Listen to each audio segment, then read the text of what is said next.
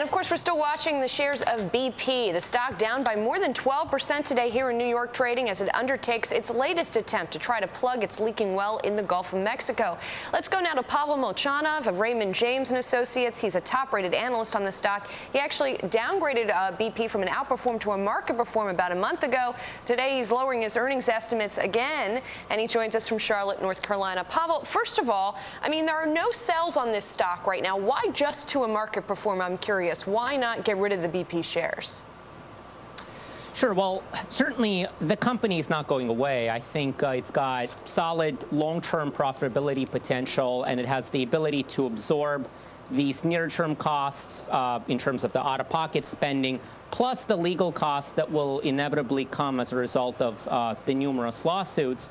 Uh, so I don't want to completely write off the story, but uh, certainly the headline risk uh, in the near term is very high, and there's almost no visibility uh, in terms of when this oil flow will stop. Uh, we had high hopes last week that were raised by uh, some of the leaders in the Coast Guard, and then, of course, it, it all turned to naught as we saw over the weekend.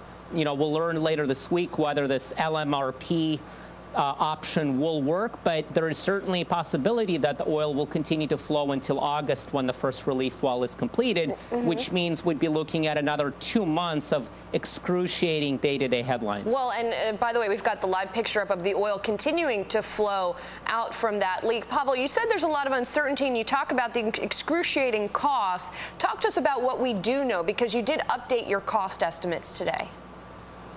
Yeah, that's right. So last week, costs were running uh, at a daily run rate of about $40 million. A month ago, uh, when I last updated numbers, they were running at about 8 million a day. So we saw a fivefold cost escalation. Of course, this relates not only to the higher cleanup costs, but also all of the underwater work to get the well under control, uh, some of the federal cost, and it includes some of the costs to uh, local residents around the Gulf Coast to, to compensate them for lost wages and so on.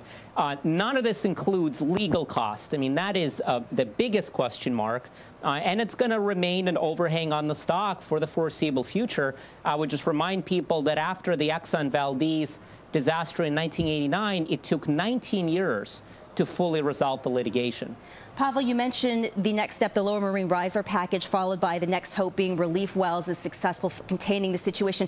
Have you considered, now this may sound extreme, but the possibility that BP just ultimately has to let this well run dry and what the ramifications, costs, environmentally, et cetera, et cetera, could be, again, in your assessment of BP's prospects?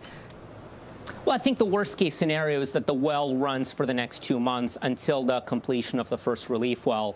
Uh, you know, assuming um, uh, one of the two relief wells or two of them, ends up, uh, you know, working its magic, August should be uh, the, you know, the worst scenario in terms of, um, you know, continuing the oil flow. Hopefully, it will be later this week, but the reality is uh, nobody knows whether the M M uh, LMRP will work. It's never been tried before at this depth.